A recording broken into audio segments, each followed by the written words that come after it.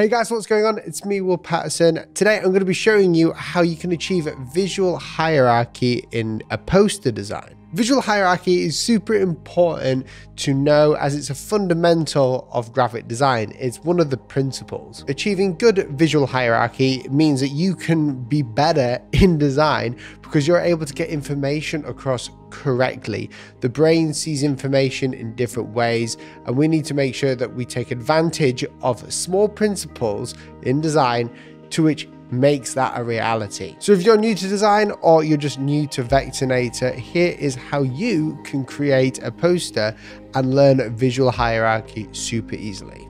Okay, so what we have here is a poster that I designed, but I've actually messed it up slightly. I've made it look worse than it is because it lacks visual hierarchy. In basic terms, visual hierarchy is the way that the elements of typography or the assets that you're using are displayed and laid out on the poster or whatever you're designing. For instance, the visual hierarchy that we see here from top to bottom is the stay is obviously the largest and the most bold type. So that's the first thing that you see. That's what the eye is drawn to. Under stay, we see that the, the word that we see next is save lives and probably help others. Now this isn't really well designed. That's because we haven't followed the principles of visual hierarchy and it's super important to really grasp this. Now the problem with this message is if I was to scale this down, it becomes ineffective and that's because of the bad visual hierarchy. We haven't actually got any in there and obviously we've got some issues with like alignment down here as well. So what we read when it's small is stay save lives help others be kind. All the other words are like kind of not in the right order. So what we want to do is make people read this correctly and easily by creating the words and bringing emphasis to the words that make the most sense. So, for instance, stay home, that is the biggest one. When it came to everything that the world's going through right now, stay home was the big message. So, we need to make sure that stay home, the two words there, are the key thing that people see. The rest of this can kind of get smaller. It doesn't have to be viewed, but we want to get the key message out. We work out the key message, then we create the layout and composition and create visual hierarchy. So because stay is big, we're going to scale that back a little bit. And I'm just scaling it like so.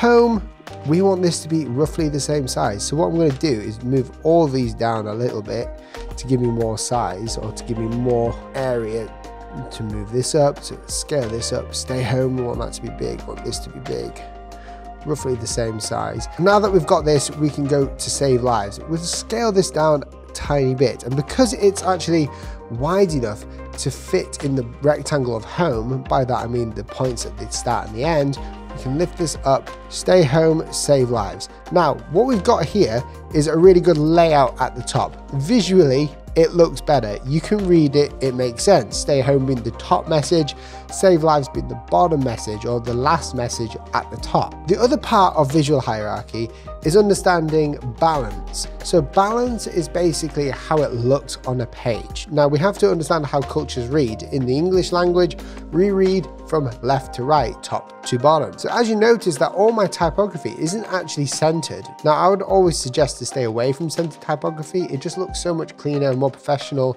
justifying it to the left. By justifying, I mean that the start of the type is at the left and we stay towards the left side. And that's because we can read left to right. And we use the sizes as ways of getting points across. So for instance, save lives. Let's bring this here. Let's bring the divider in. Now, what we don't talk about a lot with visual hierarchy is breaking up the message. So we've got two messages here, stay home, save lives, and then clean hands, help others, be kind is the last message. So what we want to do with these is create a break. So we people understand when they're reading this that there is two messages. And we can do this by either adding a number, so you could be like number one, stay home, save lives, and then number two, clean hands, help others, be kind. But because this post-it is very chunky, I don't want any unnecessary information, we can add a, line break here. And this line break really helps us show the differences in messages. And we want it to be roughly the same size as, as home. And we want that to be justified to the left, but also so it fits here. So it doesn't like go crazy far out to the right and look a bit weird. We want it to all be in line with each other. So we're going to add this break and then here we're going to start moving these as well into a better visual hierarchy. And we can do this by scaling it down first of all. So scale everything down and we're going to bring clean hands here. Scale clean hands down. That's the secondary message here. We want clean hands to be not tiny, but smaller than the rest of the top of the message, just to bring that visual hierarchy. You can see from top to bottom, it, it's reading correctly. It's the most important message at the top. Then as we come further down, it's the least important messages. If anyone's going to be going past this poster, they're going to see stay home first. And that is the main thing. So down here, just under clean hands, we've got something called help others. Now it's blocked like this just to break it up. If we just had clean hands help others, it would just look too much like a list. As a designer, to get visual hierarchy is not just the most important thing, actually balancing it out and making it visually appealing is just as important to get people to look at the whole poster. So with help others, we want it to be justified to the left, so we're actually not going to justify it so the H is directly under the C. We're going to do it so the block is.